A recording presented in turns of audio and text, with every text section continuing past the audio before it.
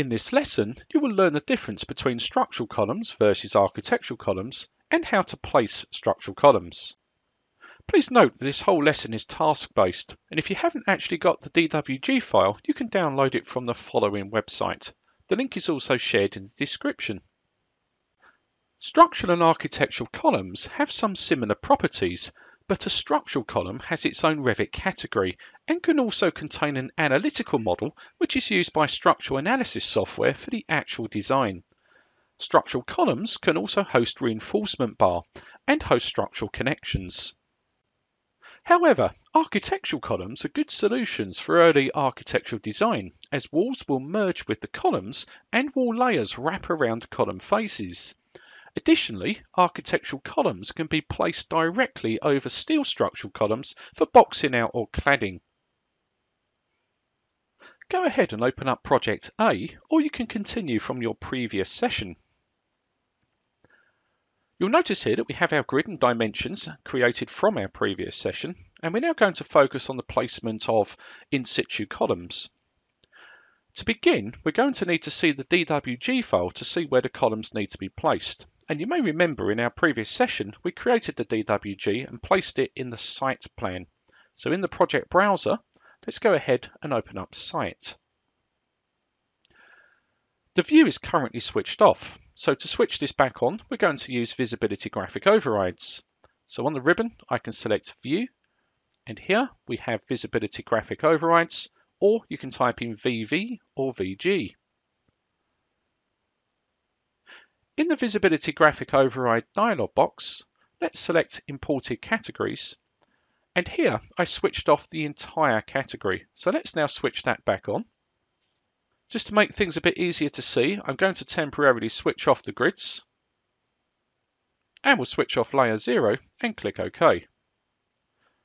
So you can now see our DWG file has been reinstated.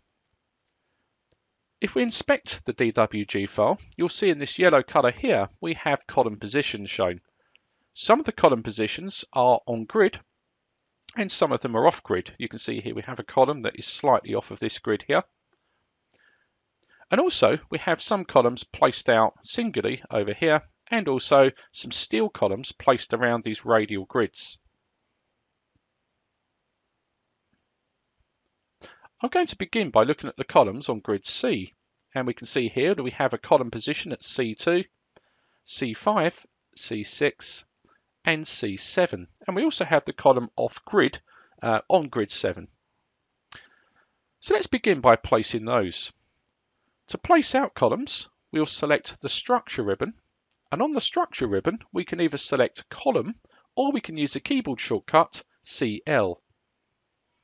Let's select a column. In the structural column command, you'll note that we now have a context ribbon. On the context ribbon, you can see that we have context panels, so mode, placement, multiple, and tag. You'll notice that some of the buttons here have a blue highlight. The blue highlight signifies that these are the active tools. For example, if I didn't want these columns tagged or referenced on placement, I could simply just uncheck that. In this case, I want that tagged, and you can see here we're placing a vertical column, but we would also have the option of placing a slanted column if we wanted.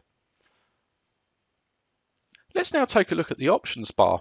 On the options bar, you'll notice that we can configure the height for our column.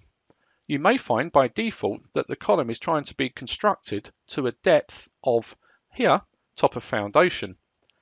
Now, of course, we can place the columns down from, say, first floor to ground floor, or we can place the columns from ground floor, which we're on at the minute, and use height to first. Now in our case, we're going to have the first floor all done in in situ concrete and the upper floors will be constructed from steel. So our concrete columns only need to go to a height of first. Let's now draw our attention to the properties palette. In the properties palette, you'll see here we have something called the type selector. The type selector lets us see various different types of structural column loaded into our active project. So I can see here I have three family types. I have circular hollow sections, concrete rectangular columns, and steel universal beams. The grey bar is the header for the family. Underneath the family header, we have the various different types or sizes. In our case, we need a section size of 350 by 350. You'll notice here that we don't have any sections appropriate. So I'm going to begin by selecting 300 by 450. And we'll use this just to look at some of the properties when we're placing out columns. For example, if I move over a grid intersection, you can see the grid intersections both highlight, and that's now going to constrain the column to be placed on grid. If the grids move, the column can then move with those grids.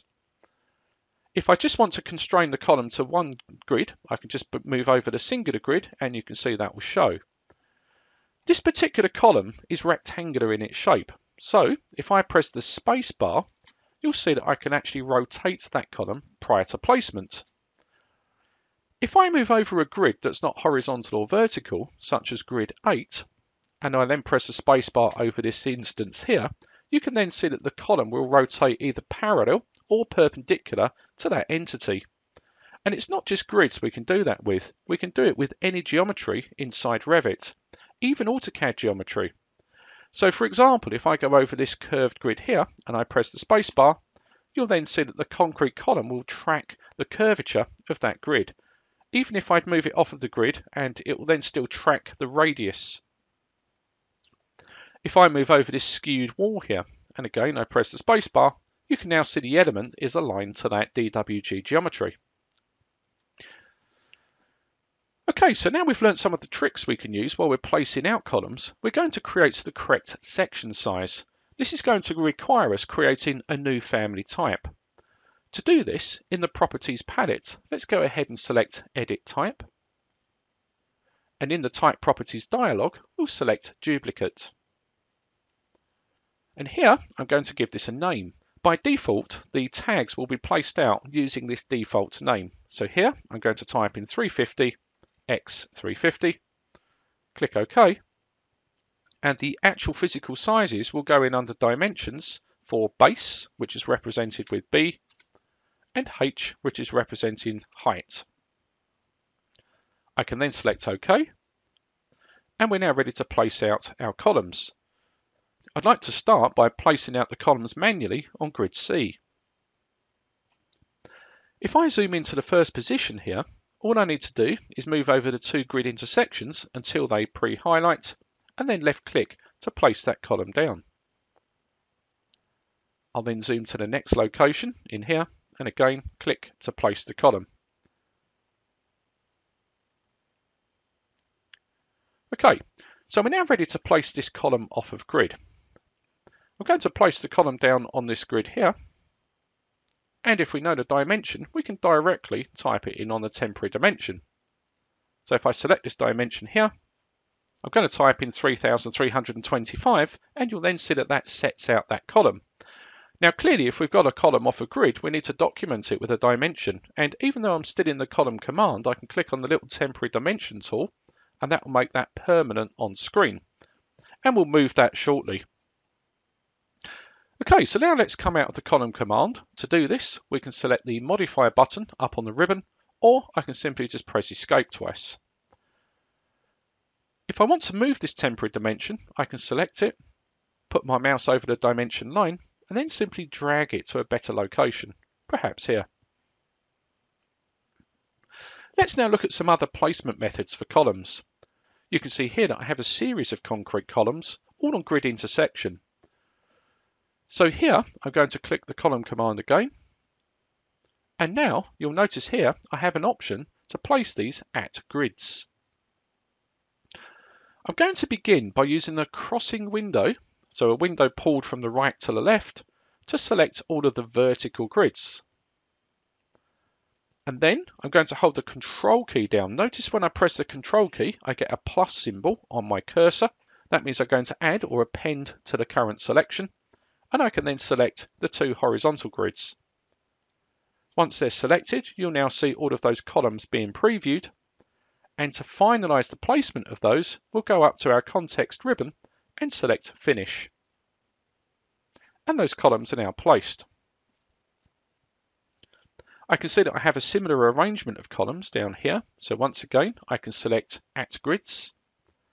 I'll use my crossing window again pulled from the right to the left to select all of the vertical grids, hold the control key down, select this grid here, and then again on the context ribbon, select finish to place out those columns. And finally here, you can see that I've got a couple of odd ones to place, so I'll just place these manually by selecting on the grid intersections.